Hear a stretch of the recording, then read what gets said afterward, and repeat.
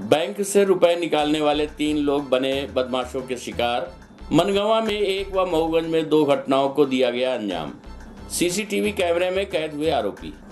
आपको बता दें कि बदमाशों ने गुरुवार को बैंक से रुपए निकालने वाले तीन लोगों को अपना शिकार बनाया है।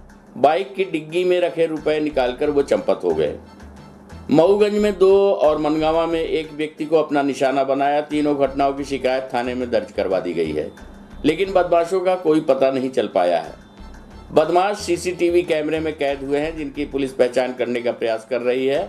मनगवा कस्बे में बदमाशों ने दिन दहाड़े एक शिक्षक को अपना निशाना बनाया। शिक्षक बैजनाथ प्रजापति ने गुरुवार को बैंक से चालीस हज़ार रुपये निकाले थे, जिसे उन्होंने अपने बैग में रख दिए थे। अपने पास रखने से पहले दस हज़ार रुपये भी उन्होंने साथ ही बैग में रख दिए थे। उसे डिग्गी में रखकर एक व्यक्ति को देने के लिए जा रहे थे। मनगवा कस्बे में स्थित एक दुकान के सामने उन्होंने अपनी गाड़ी खड़ी कर दी और बदमाशों के इरादे से अनजान दुकान के अंदर चले गए।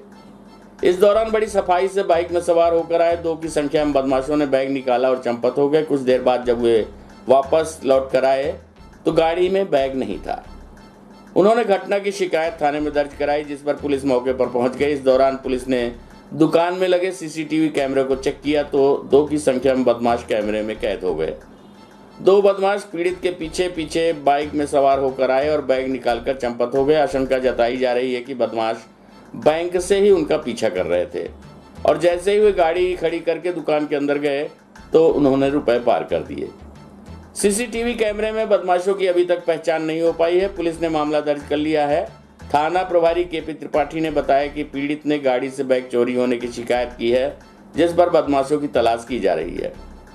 इसी कड़ी में मऊगंज में भी बदमाशों ने दो घटनाओं को अंजाम दिया है। इंद्रमणि प्रसाद पांडे, निवासी उधवपुरवा गुरुवार को इंडियन बैंक शाखा मऊगंज से दस हज़ार रुपये निकाले थे, जिसे मोटरसाइकिल की डिग्गी में रखकर वे अपने घर जा रहे थे। अस्पताल के समीप वे दवाई लेने के लिए रुके, तभी बदमाशों ने पलक झपकते ही डिग्गी खोलकर उसमें से बैग पार कर दिया, जिसमें दस हज़ार रुपये पासबुक, आधार कार्ड सहित अन्य दस्तावेज़ रखे हुए थे। आराम से बदमाश घटना को अंजाम देकर निकल गए और किसी को भनक तक नहीं लगी। कुछ देर बाद ही उन्होंने छिवरहा गाँव निवासी शोभनाथ पांडे को भी अपना शिकार बनाया। वे भी उसी बैंक से बीस हज़ार रुपये निकालकर घर जा रहे थे, जिनकी गाड़ी से बदमाशों ने बैग को पार कर दिया। बदमाशों का शिकार हुए दोनों पीड़ितों ने थाने पहुंचकर घटना की शिकायत दर्ज कराई है। पुलिस ने उनसे आवेदन लेकर चलता कर दिया। पीड़ितों के मुताबिक जिस समय बैंक से पैसा निकाल रहे थे तो वहाँ दो बदमाश मुँह बांधे हुए बैठे थे। आशंका जताई जा रही है कि उन्होंने ही पीछा कर इस घटना को अंजाम दिया है। प्रस्तुत है इस संबंध में एडिशनल एसपी शिव कुमार वर्मा से प्राप्त जानकारी के अंश। हाँ एक चतुर- चक्रवर्ती हैं, ये टीचर हैं। ये एसबीआई से पैसा निकाल के जा रहे थे तो अपने किसी परिचित के पास गए थे। उन्होंने मोटरसाइकिल खड़ी और परिचित के पास गए करीब सौ कदम पर उनका वो था। उसमें जब ये पैसे दे रहे थे दरवाजे के पास जाके उसी समय कोई मोटरसाइकिल से दो लोग आए हैं उसके सीसीटीवी फुटेज मिल गया है और उसके बैग की जो डिग्गी होती है ना मोटरसाइकिल की डिग्गी उसमें कुछ पैसे रखे थे वो निकाल के ले गए हैं। पुलिस ने प्रकरण पंजीबद्ध कर लिया है और जो चोर हैं उनकी पहचान और उनकी तलाश जारी है। पचास हज़ार के आसपास हम बता रहे हैं।